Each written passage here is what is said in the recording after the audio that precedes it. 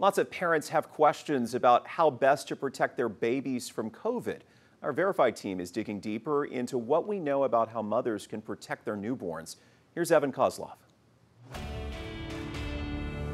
Verify exists to get you the vetted facts about what you read online. And you've probably heard this one that breastfeeding mothers who are vaccinated for COVID 19 can pass antibodies through their breast milk. So we're tackling this claim in two parts, with some help from our sources three breast milk experts, along with some studies on the subject. First, here's question one Are there SARS CoV 2 specific antibodies in human milk? Can we say that with confidence? Yes.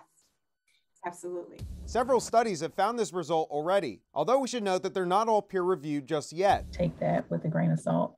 Um, but from the studies that have come out, there's robust antibody response, more so after vaccination and after natural infection um, in breast milk. They have only confirmed our feeling that what we would have predicted is that a, it would be safe, and B, there would be transfer of antibodies, and that's what we're seeing in the preliminary data. So that brings us to our next question. Is there any evidence that these antibodies can protect infants? And at this point, we just don't know for sure. Although two out of our three experts think the answer could be yes, based on what they already know about the medicinal properties of breast milk. What is the degree of protection?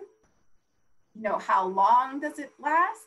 Those are scientific questions that we should explore. But I think it's safe to say that there will be some degree of protection. With your Verify, I'm Evan Koslof. And folks, if you have something you want us to verify, shoot us an email, verify at 12newsnow.com, or you can direct message us on one of our social media accounts.